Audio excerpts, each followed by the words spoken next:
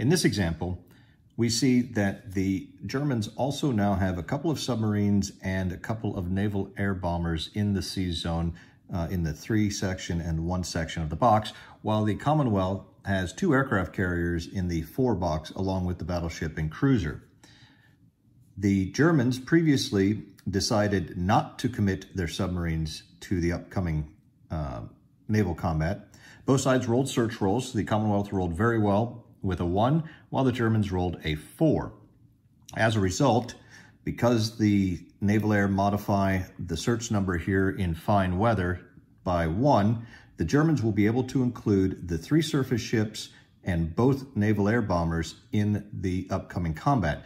Meanwhile, the Commonwealth is able to include all of their units in the combat.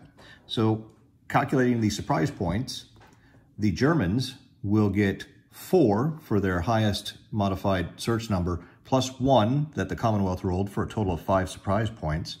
The Commonwealth will get five, since the range of the carriers will increase this by one, plus four from the German roll to give them nine. Nine surprise points for the Commonwealth minus five German gives the Commonwealth a net four surprise points that they will be able to spend in the upcoming battle. We next move on to determine the combat type.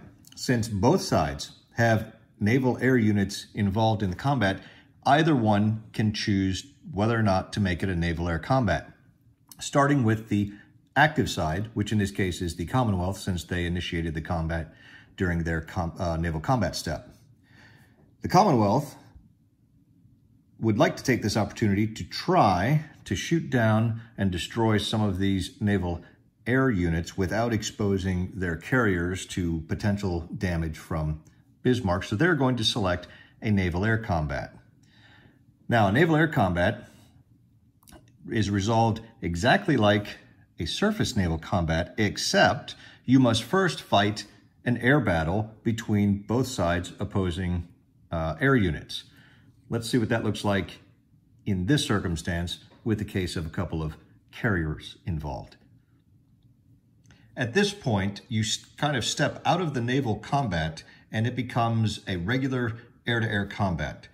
So both sides will have to establish a fighter stream and a bomber stream. In this case, the Germans have no aircraft, no fighter aircraft involved. So they have no fighters, they have merely their bombers, and they've selected the um, uh, Dornier 18 as its lead bomber.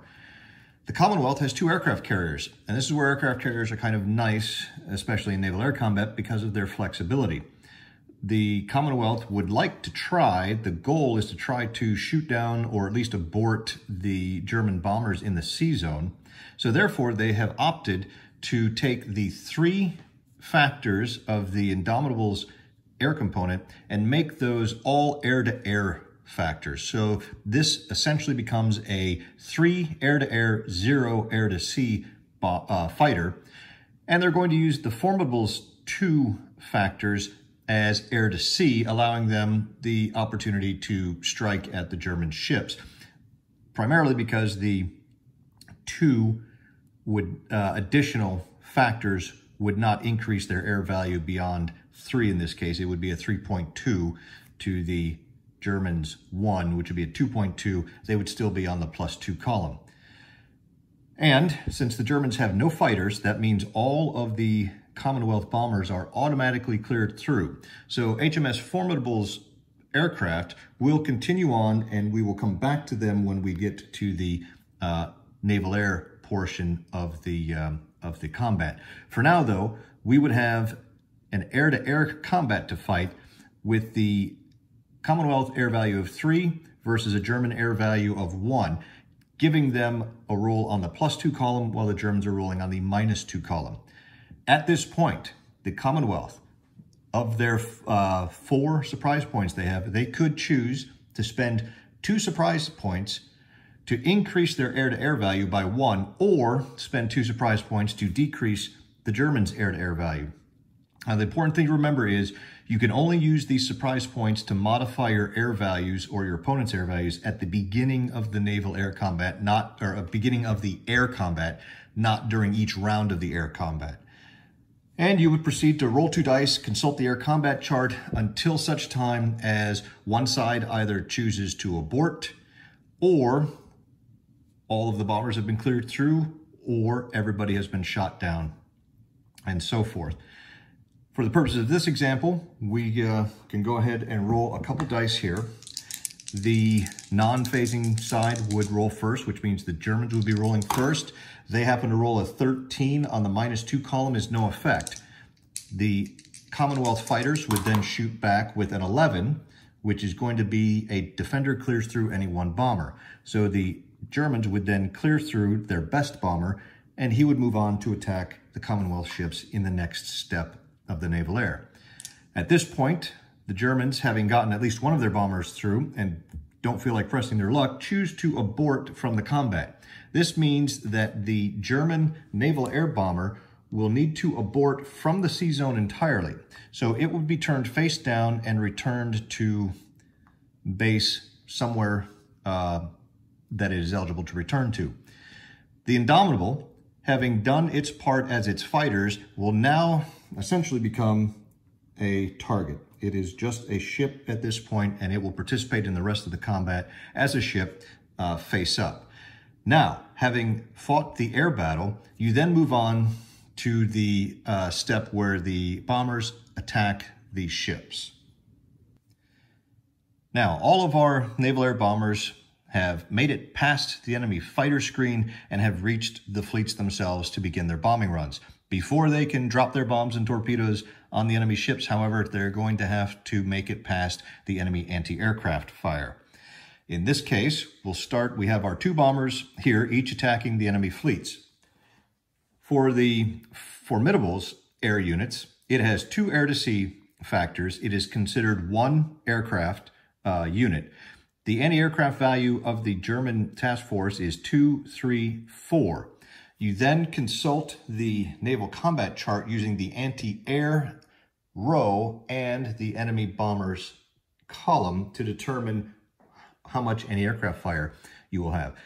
We see anti-air is the row we're looking at. We had a grand total of four factors, which puts us on the three to five column. They are shooting at one enemy bomber. We now look at the golden column here labeled AA, and you see a dash.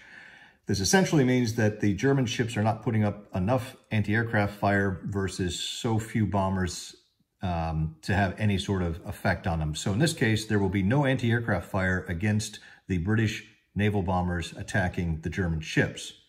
If we go back and look at the German bombers attacking the British ships, you see the British have a total, since both boxes are involved, you total up all of the uh, factors on all the ships. It's two for the Indomitable, plus two for Prince of Wales, one for Newcastle is five, six, seven anti-air factors, and those are shooting at only one enemy bomber. Going back to our chart here, you can see on the anti-air row, we are in the six to nine column. There is one enemy bomber and that puts us right here. We have a minus one slash six. All of your anti-aircraft results are going to be um, a number slash another number.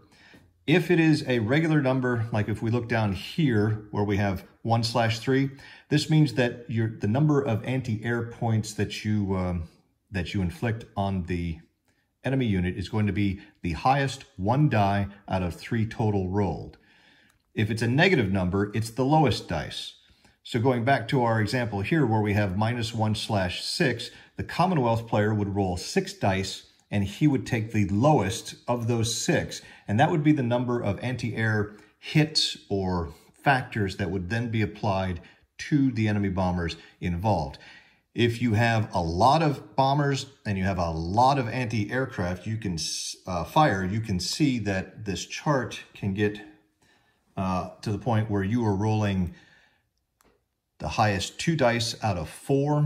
You can roll the highest three dice out of four, in which case you are rolling a three out of four, three highest out of four looks something like this. This would be 10, 6 is 16, plus 1, 17. That fleet would have 17 anti-aircraft hits to inflict upon any enemy bombers that are attacking them. Now, what does that mean? I rolled, in this case, with our current example, we have the lowest one of six dice. Well, we would roll six dice. We've got five and four. We've got eight and two. And we have a one and four. The lowest dice of all six of those is the six that we rolled. You would take that anti-aircraft hit and you would subtract it from the anti-air, or I'm sorry, the naval air factors of one of the enemy bombers. So in this case, instead of both of these naval air factors pressing home the attack against the British fleet, it would be reduced to one. When we go to implement the results on the naval air combat chart or determine what the results are, the German bomber would be using the air-to-sea it would normally be a two, but because of the anti-aircraft fire, it has been reduced to one. So we're using this column here, and it is shooting at a total of five enemy ships. So we come down to the five to seven, and you can see one naval air factor against five ships results in one abort result. For the Commonwealth bombers, they had two air-to-sea factors, and they were attacking three enemy ships, which is going to result in two abort results. When it comes to implementing these results, it works just like it does for a surface combat, except that players will alternate selecting the target for the results rather than the owner selecting all of them. And the first result is chosen by the attacker, second by the owning player, third result attacker, fourth owning player, so on and so forth you can spend three surprise points at this point to choose the target, just as you could during a uh, surface combat. In this case, with one abort result, the German bombers would like to remove the at least one of the carriers in the sea zone, and so it would select the Indomitable to receive the abort result. The Commonwealth player would then have to roll a die by rolling a 5, which is less than the 6 defense value, the Indomitable would end up being aborted as a result of this round of the naval, uh, of the naval combat. Likewise, on the German side, the Formidable is going to first select Blucher for to accept the initial uh, abort result, and it rolled an 8. The 8 is greater than the Blucher's defense value of 6, which means it's downgraded to a 1 half result. The German player now gets to select which of the other ships will suffer the second abort result. They decide to choose Bismarck. Bismarck rolls. Bismarck rolls a 5. That is also greater than the Bismarck's defense value, so the abort result on Bismarck becomes a 1 half abort. Now at the end of implementing all of the results from the naval combat table, you add together all of the one half results on a single ship. If it totals a full abort, the ship will be aborted. If, however, the only abort you have on a ship is a one half abort, that is essentially rounded down to a no result and the ship is not aborted. So in this case, despite the fact that Formidable achieved two abort results against the Germans, they rolled well enough that they were able to downgrade each of those abort results to a one half abort, therefore allowing both ships to ignore the result and remain in the combat.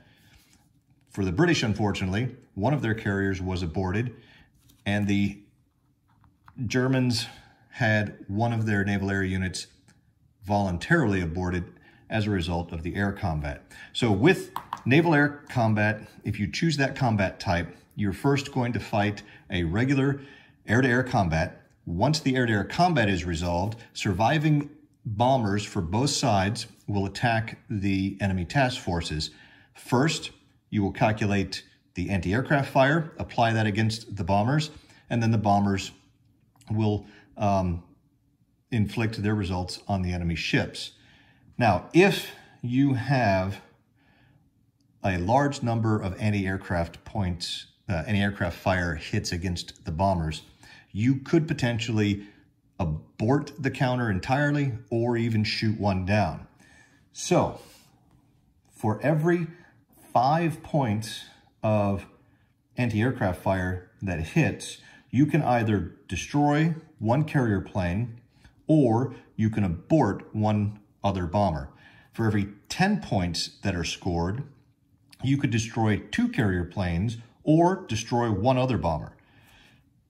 And when you have, say, 16 or 17 anti-aircraft fire hits, you first take them in groups of 10. So when I showed you the highest three rolls of four and we ended up with a total of 17 anti-aircraft hits, I would take 10 of those and I could have used those 10 hits to destroy this bomber entirely. The bomber then does not get to attack or add its air to sea value to the uh, attack on the ships.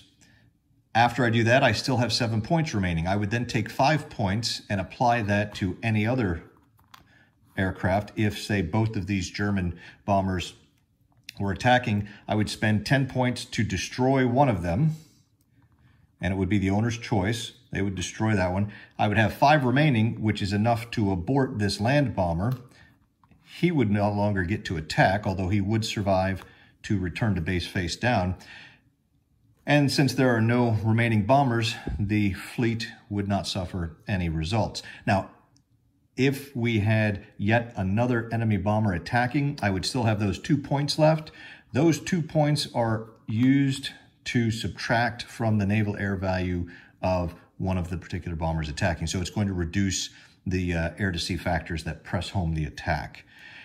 If we were looking at carrier planes uh, being the bombers, it would only take five points to destroy one of these. And if the Germans were able to generate 10 points of anti-aircraft value, they would be able to destroy both of those carriers with those 10 points. If you're playing the classic version, what that means is you're going to place a no planes marker on each of these carriers. They would then basically become targets for the enemy bombers. At the end of the naval combat, not the naval combat round, but the naval combat, they would then be forced to return to base. If they were, if they successfully returned to base without being intercepted and, and uh, sunk, they would then go immediately into the repair pool. Speaking of returning to base, that is one thing that I forgot to mention on the interception. If a moving task force is successfully intercepted. Normally it has two options. It can attempt to fight its way through or it could stop its move and go into uh, a section of the sea-box. You cannot end your move and go into a section of the sea-box if you are returning to base. You must attempt to fight your way through. And you've got to make sure that you will have enough movement points left to make it all the way to the port you are attempting to return to base at, which means you're probably going to be needing to um, go into the zero or one box, most likely, uh, if you're going, if you are returning to base and are intercepted successfully by the enemy. That's naval air combat. Let's look at the third and last type of naval combat, and that is the submarine combat.